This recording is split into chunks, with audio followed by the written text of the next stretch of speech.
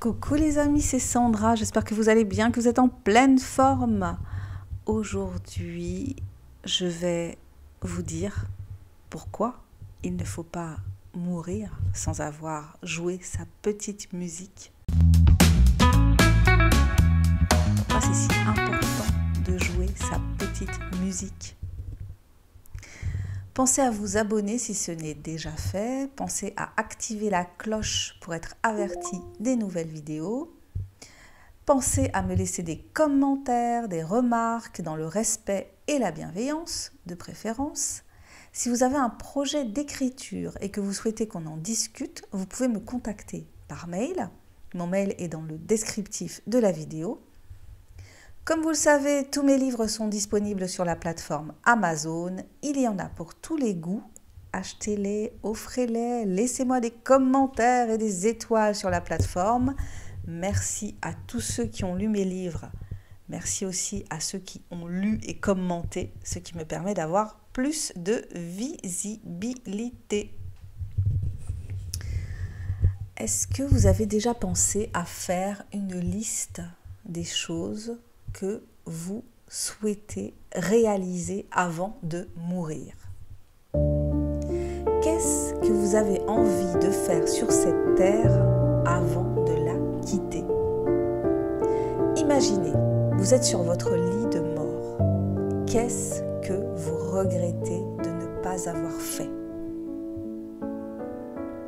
Est-ce que vous pensez que vous allez regretter de ne pas avoir assez travaillé? C'était quoi vos rêves d'enfant? Est-ce qu'ils sont encore réalisables? Si oui, pourquoi ne pas les réaliser? C'était quoi ces rêves? Écrire un bouquin? Aller en Inde? Rencontrer Jean-Claude Van Damme? Escalader le Kilimandjaro? Créer votre entreprise? Apprendre à danser la salsa? Tourner dans un film, devenir mannequin, jouer dans une pièce de théâtre, faire de la peinture, faire de la politique, changer le monde, chanter, devenir millionnaire, faire du vélo à une roue, jongler. Le chant est libre. Dans son livre Écriture, mémoire d'un métier, Stephen King parle de la création de personnages et il écrit une phrase qui dit à peu près ceci que la majeure partie de la vie des gens est ennuyeuse et que dans un livre, l'auteur a pour objectif de faire ressortir ce que la vie de ces personnages a d'intéressant, ce qui fait avancer l'histoire. Et l'ennuyeux, l'auteur n'en parlera que s'il apporte quelque chose à cette histoire. Globalement, on va pas se voiler la face, nos vies sont ennuyeuses et répétitives. On se lève le matin pour une vie souvent routinière qui ne nous enthousiasme pas toujours. Pourquoi? À quel moment a-t-on fait le choix conscient d'une vie routinière? Métro, boulot, dodo.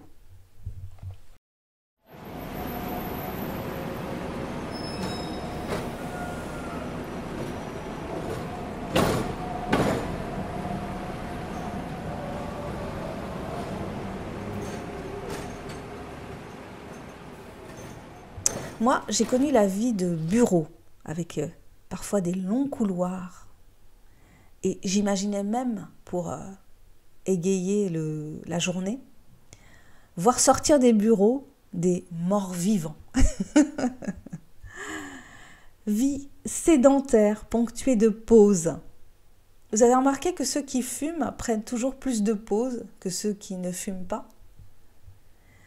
Nous sommes pris dans les obligations du quotidien. Nous ne nous lançons pas de défis parce que affronter le quotidien est déjà un défi en soi. Mais c'est quoi ce monde? Il y a quelques semaines, je me suis posé une question idiote au sujet de la vinaigrette.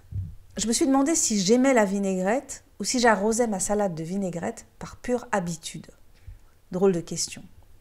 Question idiote, me direz-vous peut-être pas si idiote que ça quand on prend le temps d'y réfléchir. Combien de choses dans nos, vies faisons-nous par habitude, parce qu'on nous a dit qu'il fallait les faire comme ça, ou juste par imitation, parce que nous les humains, nous savons si bien imiter les autres pour ne pas entrer en conflit avec eux. Nous nous conformons. J'aime bien ces films ou ces livres dans lesquels les héros sont amenés à tout faire basculer, à se redéfinir. Dans American Beauty, un film de Sam Mendes qui date de 1999, le héros, joué par Kevin Spacey, décide un jour de laisser tomber son boulot de cadre supérieur pour aller travailler dans un fast-food comme employé polyvalent parce qu'il ne veut plus avoir aucune responsabilité. Dans Chute libre, film de Joel Schumacher qui date de 1993, Michael Douglas disjoncte lorsqu'il se retrouve coincé dans un embouteillage et là, il fait tout ce que l'on aimerait faire si l'on définissait soi-même les règles du jeu. Il fait tout ce qui est interdit et l'arme au poing, bien sûr, parce qu'on est dans un film américain. Dans L'homme qui voulait vivre sa vie, un roman de Douglas Kennedy, le héros, après avoir tué l'amant de sa femme, décide de vivre la vie qu'il aurait dû vivre, celle de cet homme qui exerce le métier qu'il a toujours voulu exercer. Il abandonne sa vie comme s'il s'agissait d'une vilaine peau et endosse celle d'un autre. Ce sont des extrêmes, mais cela donne à réfléchir.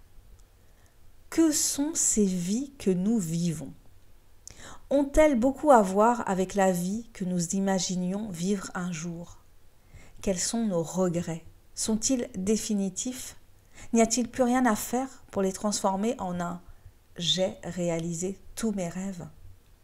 Je ne sais plus qui a dit qu'il ne fallait pas mourir sans avoir joué sa petite musique.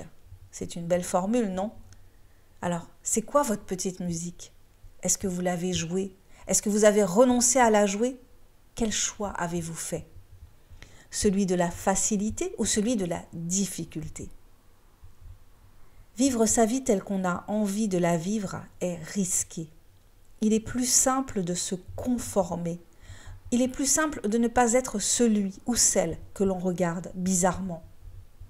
Celui qui a décidé de rester célibataire, celui qui ne veut pas d'enfant, celui qui porte les mêmes vêtements depuis 20 ans et se contrefout de la mode, celui qui n'a pas de téléphone portable, celui qui part en voyage quand ça lui chante avec un sac à dos minimaliste, celui qui dit non quand il a envie de dire non, celui qui ne boit pas d'alcool celui qui ne veut plus de vinaigrette dans sa salade parce qu'il a découvert qu'en fait, il n'aimait pas la vinaigrette. Celui qui écrit des romans et les auto-édite en se fichant de savoir ce qui plaît ou non aux éditeurs et aux lecteurs. Celui qui peint des tableaux que tout le monde déteste, mais qu'il adore peindre. Celui qui préfère courir après ses rêves plutôt que de rentrer dans le rang. Celui qui nage toujours à contre-courant vous voyez ce que je veux dire ou je vous ai perdu depuis longtemps? On aime les gens qui ont des vies extraordinaires. On se répète leur vie. Mais on peut faire de nos vies des vies extraordinaires en prenant le risque de réaliser nos rêves. Si l'on a des rêves, bien sûr. Ça n'a pas besoin d'être des révolutions incroyables. Ça peut juste être se donner le droit de faire ce que l'on a envie de faire et commencer par un premier pas, par une première pierre posée, par un premier mot écrit, un premier coup de pinceau sur la toile, un Airbnb loué, un billet de train ou d'avion acheté, un sou économisé pour ce projet qui nous tient à cœur. Plus que jamais, le monde actuel, avec l'émergence des réseaux sociaux et de l'intelligence artificielle, veut faire de nous des spectateurs de notre vie, et surtout de la vie d'une poignée d'autres. Mais non, en fait, chaque vie peut être passionnante pour peu qu'on accepte de prendre ses responsabilités. Oui, bien sûr, il y a le quotidien, le loyer à payer, les factures, le patron, le salaire qui n'est jamais assez. Oui, bien sûr, il y a le réel auquel on se cogne. Mais n'oubliez pas, sur votre lit de mort, quand le moment de rendre l'âme sera tout proche, de quoi voulez-vous vous rappeler? Que voulez-vous vous dire? Au moins, j'ai essayé, Ou si j'avais su. Eh bien, les amis, je vous remercie de votre passage sur ma chaîne. J'espère que le sujet de la vidéo vous a intéressé, vous a interpellé. J'espère qu'il vous fera réagir. Donc, pensez à vous abonner et à activer la cloche, si vous le souhaitez, bien sûr. Laissez-moi des commentaires. Dites-moi ce que vous pensez de tout ça. Qu'est-ce que ça vous fait dans votre petit cœur, dans votre âme? Qu'est-ce que ça vous fait?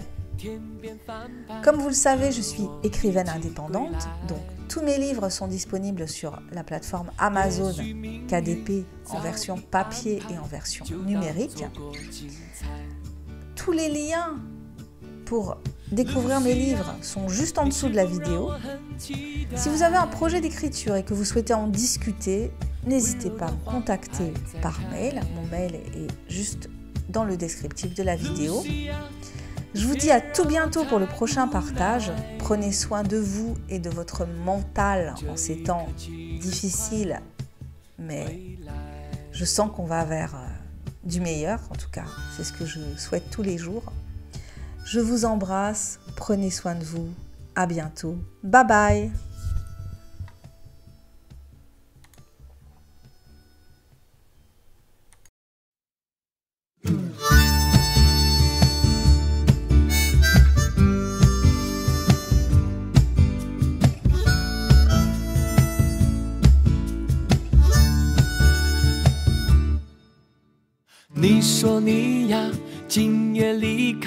永远不再回来。也许明天已不存在，就当在远方等待。你说你在天边翻牌，和我一起归来。也许命运早已安排。就当错过精彩。Lucia，你是否让我很期待？温柔的花还在开。Lucia，你别让我太无奈。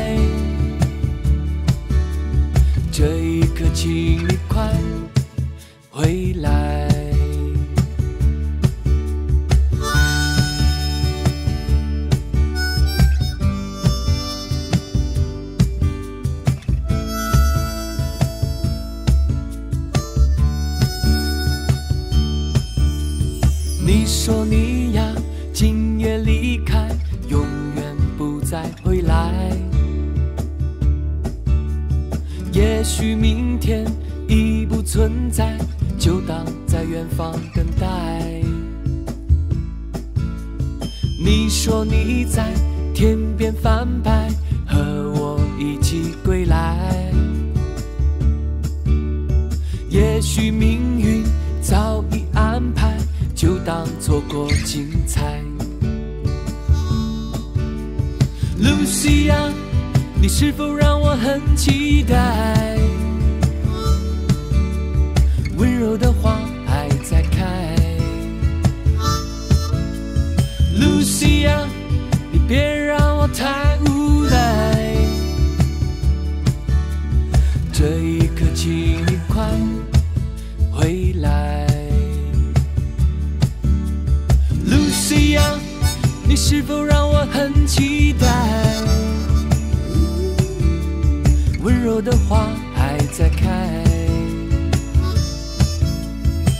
夕阳，你别让我太无奈，